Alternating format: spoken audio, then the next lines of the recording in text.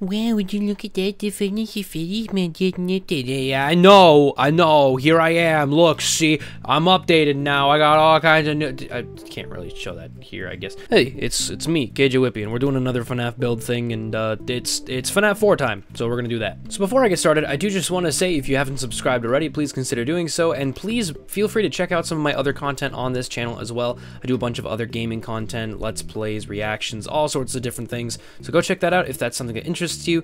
Uh, there's a card in the corner right now to one of my favorite videos right now, Grass Block. Whoa, Whoa! Anyway, yeah, go do that if you uh, if you want to do that. So I went ahead and just skipped right ahead to making the layout of the house because this is such a different build from the rest of the ones that I've made in this series so far. So I'm just gonna go ahead and kind of list off what I have here. It's gonna be a two-story house, and uh, let's just go ahead and get started with labeling everything. So this red box down here, uh, like every other build that we've done, that's gonna be where the main game takes place. Uh, this is the bedroom where you try to survive the nights in FNAF 4. Uh, that orange box there is going to be the closet space, and then of course those two hallways right there lead to different areas of the house as well. Uh, the yellow box there, uh, for some reason has a hole in it, and I didn't realize that. Uh, but that yellow box there is going to be where the dining room is, and that green box up at the top left is going to be the kitchen. And then that pink section there is going to be the stairs that lead up to the second floor, and underneath that will also have like a small closet as well that can be uh, a, a, separate storage area or something for the house as well. And then of course in that uh, entranceway area, of course leading towards the top right, that leads to the family room, the living room, whatever you want to call it. Uh, it's the Afton house, so I don't really know if anything's considered living anymore. Then that dark green box right there is going to be the downstairs bathroom. And of course, the purple square up at the top is going to be where the main front door is going to be. And that opening actually at the yellow box down there, I've decided is going to be where the uh, exit out the backyard is going to be. And I'm gonna have a little porch going around the house as well. Now, I don't exactly have a block set up for what I want for the walls or for what I want for the floors or anything like that because I want this to kind of be more experimental with how I do this because it's different. It's very, very different from what I've done before. So I'm going to go ahead and try to just experiment around, see what I can figure out, see what I can play around with, uh, really use my Minecraft builder knowledge uh, in terms of block palettes and stuff like that to really make this place fit. So give me a little bit here and let's see what I can work up for this first floor.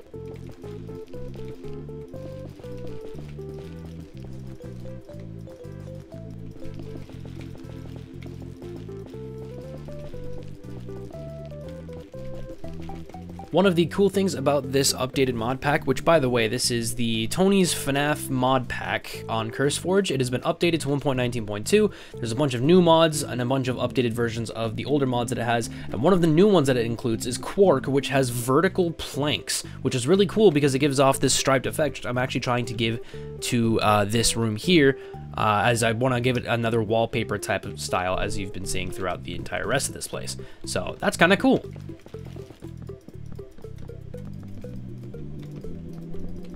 All the rooms have their flooring, their walls, and all the things of the such.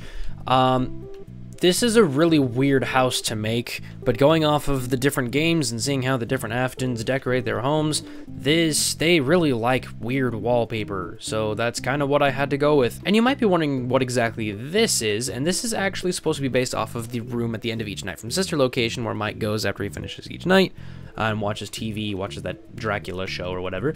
So this is kind of supposed to be a reference to that. Maybe, uh, maybe, maybe Mike still lives in this house in sister location. Maybe he still lives here, and that's why it's so easy for him to get to work. I forgot the walls in the bathroom. And of course, now it's time to lay out the second floor. And I know that this looks really weird, but try and keep up with me, see if the, any of this makes sense to you guys. So we have, of course, the stairs leading up to this platform here, which down one hallway here leads to that room that we see in Five Nights at Freddy's 4, where the plush trap minigame is, or I guess Nightmare Balloon Boy if you play in the Halloween update, whatever.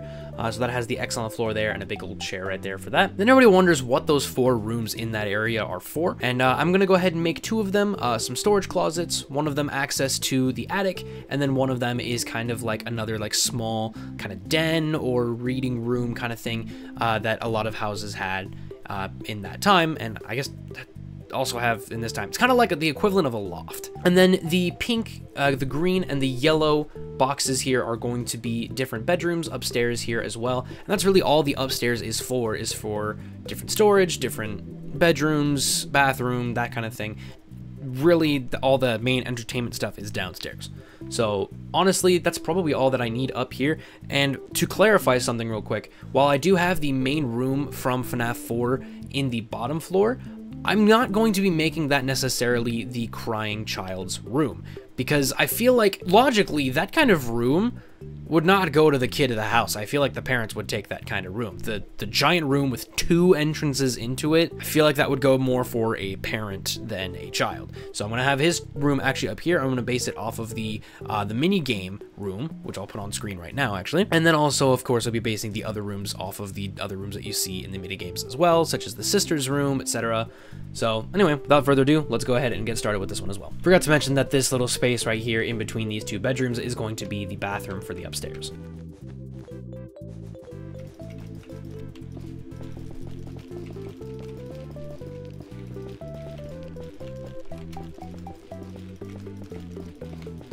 Now as I stand here in this very dark, very creepy looking place, time to start working on the interior decoration for each of these rooms, which honestly is going to be kind of tedious now that I think about it. But it's okay. Of course, first off, we've decorated the bedroom here on the first floor uh, to look just like the room from FNAF 4, which honestly I'm really happy with how this looks. And I did actually include the wall block from the updated mod here, uh, which makes a really good popcorn ceiling like you see in the, uh, in the actual game. So that's really cool. Unfortunately, this isn't centered, so I didn't put the light on the ceiling here that normally goes there, uh, but there is still the lamp here and the lamp here, of course. And I did include a flower pot as well as a hint to the Easter egg where you see the pot of flowers up here every now and then by the bedside. We never actually see this one here. We're normally looking at it from like this angle, so that's never actually seen. Uh, but since there's not enough room to put multiple things on there, I went ahead and put it there. And of course, we have the plush. And of course, inside the closet here, not really much going on here other than the Foxy plush there. And then of course, t-shirts and stuff strewn about. Because, uh, you know, what kid, what kid in their right mind would organize their room? Maybe I should organize my room. Next up, we have the left hallway, which as you can see is based off of the one in-game, as per usual. It's got a nice little painting here, a lamp, some pictures on the wall and stuff, which I actually just used the kids' drawings items here in the game. Uh, so that's pretty cool that I did that, I think. Of course, you can see there's also the clock over here, which actually does feature the bell and all that stuff to uh, to sound off the end of the hour. And of course, there's a nice little sitting area over here at the end of the hall as well, which uh, yeah, looks pretty comfy. I'm sure, of course, you saw that I've also completed the dining room here, which is also, again, complete with pictures, paintings, and, of course, a table here uh, for the Afton family to enjoy their uh, meals together, as if they're ever all together all at once, because someone's getting their head chewed off, someone's getting their guts scooped out. And of course, we also have the kitchen done as well, which there's actually no lighting in here. I'm kind of a fool. Let me uh, just uh, boink. But yes, there's the kitchen here all set up and ready to go as well. Pretty similar to the other kitchens that I've made in this series as well. Uh, but these actually have fridges that open up and they got little things in them. Look at them. There's a little piece of cake in there. That's cute. But there's also a little breakfast nook here too, uh, which I feel like is pretty common in a lot of these kind of farmhouses. Because if you do remember, FNAF 4 does take place in like a farmhouse type of place uh, that is uh, in the middle of the fields. So I feel like there would be this kind of kitchen in that place. So yeah, I like it. Of course, we do also have the right hallway as well, which is pretty much a mirrored version of that hallway, except there are these extra windows here. Other than that, it's pretty much the same. Also, there's that door there, which leads into the bathroom, which I think I'm gonna go ahead and do next, because that's nice and easy and pretty simple. We also have the bathroom here, which is complete with sinks, mirrors, we got the toilet paper and toilet, of course, and a shower, actually. So whoever is occupying this room down here, which like I said, I don't understand why a parent would give their kid that room, so I kind of have a head headcanon that that's actually just the master bedroom, and that's where the kid is hiding out uh, to uh, get away from the nightmares. But uh, yeah, whoever's living in that room, they can use this room to do all of their toiletries and stuff. And uh, I think it turned out pretty good. And here we are with the decorated sister location style room as well. Now that thing is way bigger than I thought it was, but it's the only kind of sun thing that fits the general idea of what the actual thing on the wall is there. It's supposed to be a clock. That's sure. Yeah, we'll we'll count that, I guess. But also, there's this tiny little TV here, and you can actually change the channels, and it's really cool. It's part of Exline's Furniture mod, which is a mod that I actually added to this pack myself. Uh, there's also links to all the other mods that I personally added to this as well in the description, so if you want to make something similar to this, you have resources to your advantage. Now it's time for the upstairs. And of course, the first room to get some treatment is actually the Sisters room, uh, which if you go around in the FNAF 4 minigames, you can come across a room that has some animatronic parts on the bottom and a pink bed and pink lamp and all that. And that is theorized to be the Sisters room from the, uh, from the family, Elizabeth Afton, which honestly would make sense considering that she's uh, she's been munched at this point. She's been absolutely scooped up and absorbed into Circus Baby. Probably okay still, but I mean, you know, you never know. But yeah, pretty simplistic room, nothing too fancy going on in here. Now, the Crying Child's room is actually going to be a little bit more plain than my usual decorational skills. And that's because I really wanted to capture the simplicity of the minigame room uh, because it feels alone. It feels lonely. And when he's in here by himself, you know, there's the part where it's like, you know, he locked you in here again. Like it's it's sad and it's alone. Of course, I added windows, but other than that, he's really isolated in here, except for his little friends here that also go hyonk. Except for you, you're the same one I used downstairs, but that's fine. Also, there weren't any that were missing their heads. So, oh well. And of course, there's the upstairs bathroom as well, which features a tub as well as everything that we saw downstairs. Uh, once again, nothing too fancy going on in here, pretty simplistic. The older brother's room is also pretty simplistic in terms of decorations. We just have some drawings and stuff up, which I'm going to pretend are like posters and stuff. Uh, we've got some dressers, his bed, of course, and then I actually made him into a gamer. I didn't realize that this gave off light, but it's really funny. Um, I think I just think it's funny because it prepares him because you know if if Mike if Mike left and is Mike Schmidt from FNAF 1 then this is just preparing him to sit in front of a computer for a few hours every night to survive against people that want to murder him. So hey, that's pretty cool. and of course we have the hallway with Plush Trap. Now he's not here currently because I haven't placed any of the mobs yet, but we do have a couple rooms here for storage, of course. Got a few things going on in here. And then over here we have the den where, uh, you know, this is actually based off of a room from the uh, mini games as well. The room with the sofa and the TV and the orange carpet. This is essentially that room. And then of course also the attic uh, access as well, which will I be actually adding an attic? No, because I don't want to. But yes, so I'm gonna be leaving all these doors open to have these doorways open to how Plush Trap works. And uh, yeah, that's pretty much it for this area. And with that, it's time to add an exterior, which, wow, this thing looks terrible. I'm definitely gonna be adding exterior with this because this looks just god awful. Wow. I did add a roof because, or at least a roof over on this section because it needed one to be able to fit to form, but I am gonna be adding an exterior layer around this, so let's see how well I can do that. Well, here we are. This thing's very white. This uh, has the Quark mod, like I mentioned before, which actually has the Ancient Planks, which is a white wood type. It looks really pretty. And uh, I made this a white farmhouse because this is just a stereotypical farmhouse color, honestly. But yeah, nothing too, uh, nothing too fancy, nothing too special here.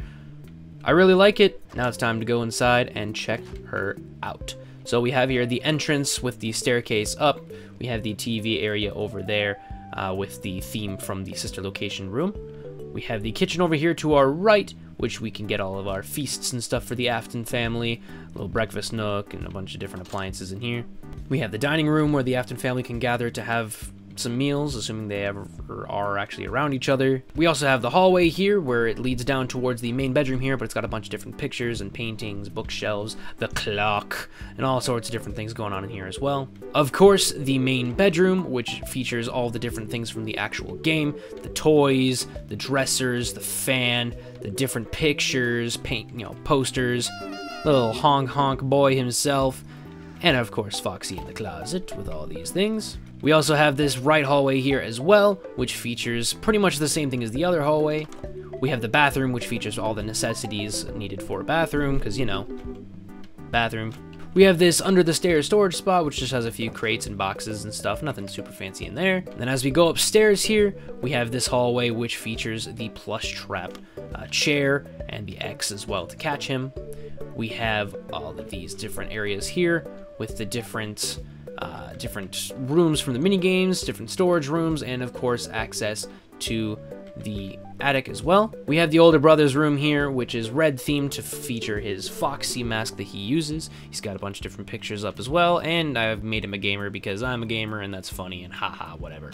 We also have the upstairs bathroom, which again features all the bathroom necessities. And of course we have the crying child's room, which features very minimal amount of decoration for the sole purpose that uh, it feels very lonely and obscured.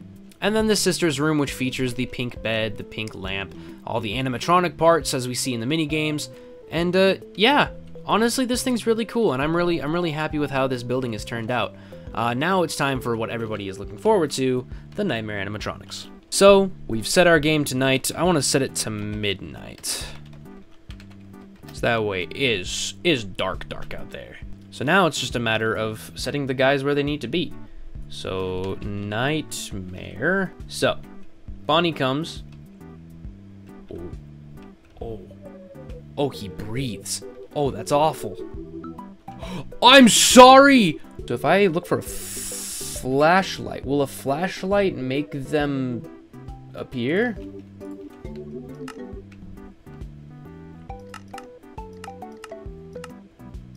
No.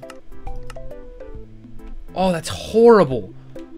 Hi. So then we have Nightmare Freddy, who's technically under the bed, but this will work, I guess. Does he make his little... Oh, look at him step. Oh, he's spooky. No, that you can't go in there. That's not where you go. And of course we have Nightmare Foxy. Ooh, man.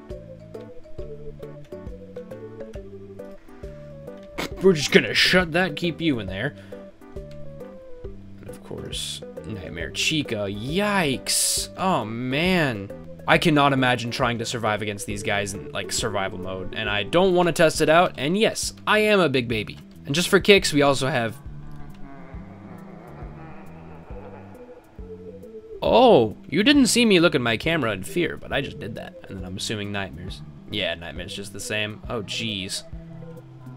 Okay. Well, I'll leave the doors open so these guys can roam. A plush trap. Don't stare at me with them big old eyes. Yikes. Okay. I'm gonna go now. If I set the time back to day. Yeah, they all disappear. Oh. That's horrible. Oh, that's terrible. Oh, I love it, but I also hate it all at the same time. Yikes. Well, I hope you guys enjoyed this episode of building custom FNAF locations. This was FNAF 4, uh, in case you couldn't tell and you didn't read the title and you've watched this entire video. How the how the heck have you like been here and not known that? But anyway, I hope you guys enjoyed. This is going to be the last one of these for a little while. I am extremely burnt out in terms of content creation. These suck so much energy out of me. I do still have some videos coming out in the near future here, but none of them are going to be Minecraft FNAF related. So I'm sorry, but also not sorry. Um, if you guys enjoyed the video, please go check out some of my other FNAF content. I do have a bunch of videos on that type of stuff. Please go check that out. And also, if you haven't already, consider subscribing. Uh, like I said at the beginning of the video, I have a bunch of content that I think you guys would really enjoy, so please go check that out. But in the meantime, I hope you guys have a great rest of your day or night or whatever time it is for you. Stay safe, I love you all, and bye-bye.